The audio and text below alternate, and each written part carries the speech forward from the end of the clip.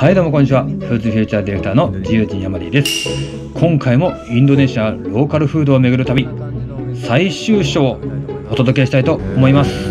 まあ見たこともないような食べ物から甘い食べ物いっぱい出てきますけども本当に素晴らしいところで日本人にもとっても合うと思います。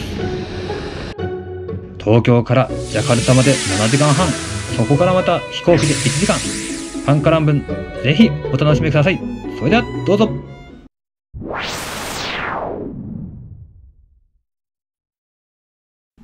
こんな感じのところで食事を食べたいと思います。いいですね。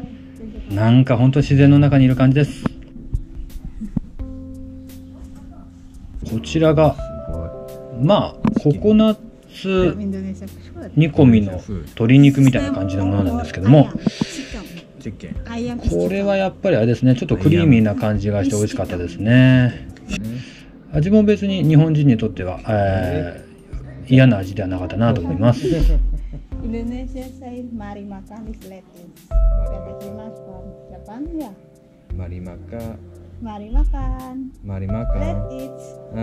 いただきます。あ あ。Maybe so Japan is Buddhism. Maybe so. Oh. Buddhism is uh, Christian. I, I my image is Christian is Yeah. yeah. Buddhism is maybe. Ah, Yeah. iya sih. うん、OK。に Isi. ああ、OK。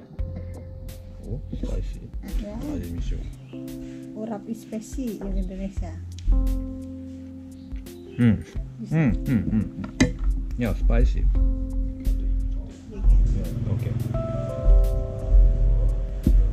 これなんですけどもなんかエッグご飯ですかね卵とご飯が混ざったような感じなんですけどえっとこれ単体だと味がしないですね。なのでまあこちらになんかこう、えーソースを混ぜたりとかして、えー、と味の調整をしたりとかそういう風にして自分なりに調節して食べるっていうのがいいんですね。やっぱ野菜が食べたいんですが相変わらず食いちぎれないということがありました。まあ春菊ですねこれは。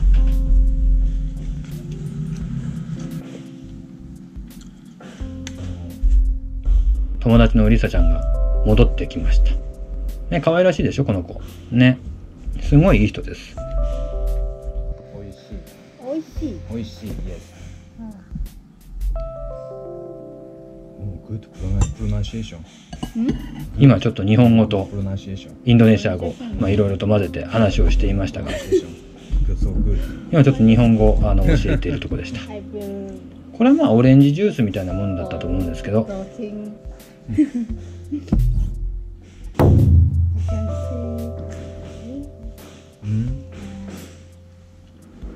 この鶏肉もまあまたね豪快にこうがぶりついて食べるという感じですねうん。うん。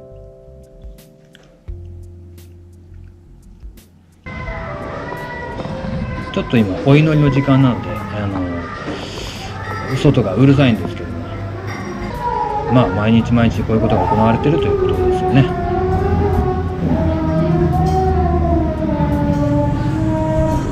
ちょっと甘い焼き鳥ですね。うん。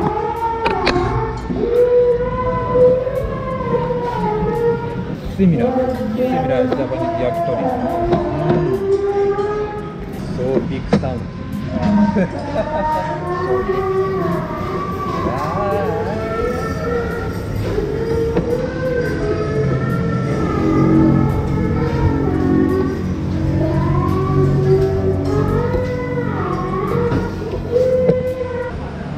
な感じのお店で晩ご飯を食べたいと思います。大通りでちょっと音はうるさいですけどすごく清潔で綺麗なお店です。こういうところもやっぱりいいですね。これね結構甘いんですよ、まあ、なんていうのかなもうコーンフレークですよねある種日本人にとっては。でちょっとまあスパイシーなものが食べたくなったので、えーインドネシアではありますけどもタイのトムヤムクン注文しましたはい、次の日ですね、えー駐車場にこんな車が止まってました。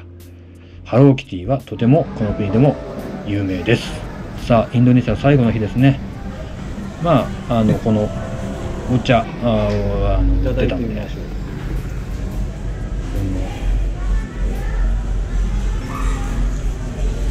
このお茶飲んでみ。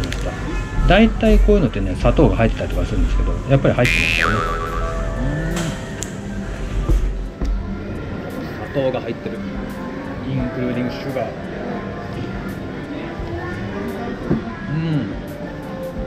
うん。オリジナルティー。インドネシアのオリジナルティーだそうです。乾杯。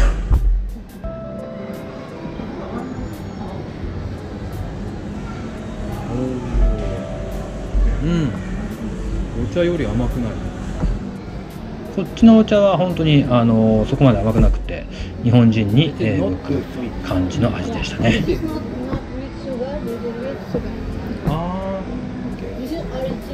オリジナル。飲みやすいですね。何？数えらんない。日本では考えられない味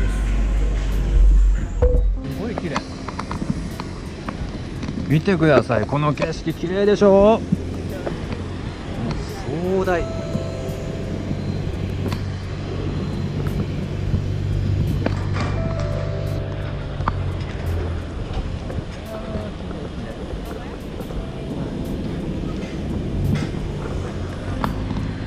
や最高。最高の景色ですよこれ。本当に綺麗さあこれからジャカルタに向かって日本に帰りますはい、いかがでしたか？本当に友達にエスコートしてもらって、いい思い出ができました。